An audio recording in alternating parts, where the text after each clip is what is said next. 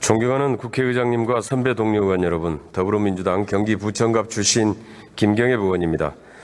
총선이 40여일 남은 오늘에야 선거구 획정안이 의결됩니다. 우선 국민들께 면목이 없습니다. 늦었으면 제대로라도 만들었어야 하는데 장고 끝에 악수 든다고 최악의 확정안, 황당하고 어처구니 없는 획정안을 만들어냈습니다. 저는 오늘 상정된 선거법 개정안의 불법성과 불공정성을 지적하고 바로잡기 위해 이 자리에 섰습니다. 선거구 획정의 대원칙은 인구 대표성과 공정성이 생명입니다. 특정 정당이나 후보 유불리를 떠나 공정한 기준과 원칙에 따라 결정되어야 합니다. 부천시 한 개 선거구당 평균 인구수는 19만 7천 명입니다. 서울 강남은 17만 7천 명, 대구 달서는 17만 9천 명, 부산 남북 강서을은 16만 명대입니다. 인구수 원칙에 따라 선거구를 줄여야 한다면 어디서부터 줄여야 하겠습니까?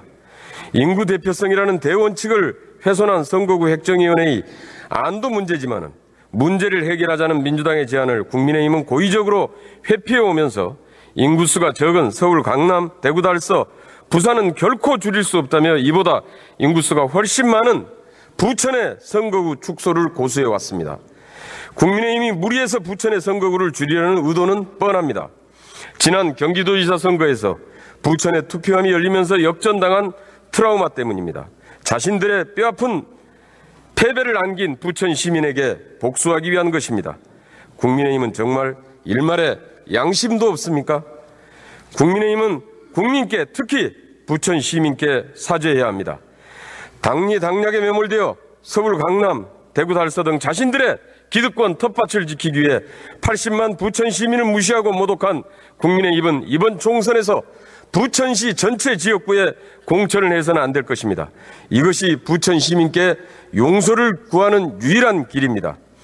국민의힘은 오로지 자신들의 텃밭인 서울 강남과 대구 달서 등을 지키기 위해 혈안이 되어 헌법과 선거구 획정 원칙을 무시하고 인구 비례성의 원칙도 파괴한 것입니다. 국민의힘에 경고합니다.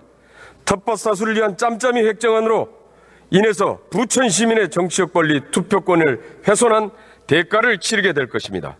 존경하는 선배 동료 의원 여러분, 80만 부천 시민을 대신하여 호소드립니다. 정당과 국회의원의 이해득실만으로 결정되었어야 되겠습니까? 부천 시민뿐 아니라 역사와 국민이 지켜보고 있습니다. 민주주의와 헌법, 선거법과 대원칙을 무시하고 부천 지역구 수를 4개에서 3개로 줄이고 이것도 모자라서 지방의원 선거구 수까지 찢어놓는 광역의원뿐만 아니라 기초의원 선거구마저 두 개의 행정구로 찢어버린 이런 황당한 선거구를 만들어낸 이 획정안에 대해서 저는 결사 반대합니다. 다른 일도 아니고 대한민국의 민주주의를 유지하기 위해 가장 중요한 국민 기본권인 참정권, 투표권에 관한 문제입니다. 다시 한번 인구 대표성의 원칙, 공정성의 원칙을 바로 잡아주시길 촉구하면서 선배 동료 의원 여러분들의 현명한 판단, 표결을 부탁드립니다. 감사합니다.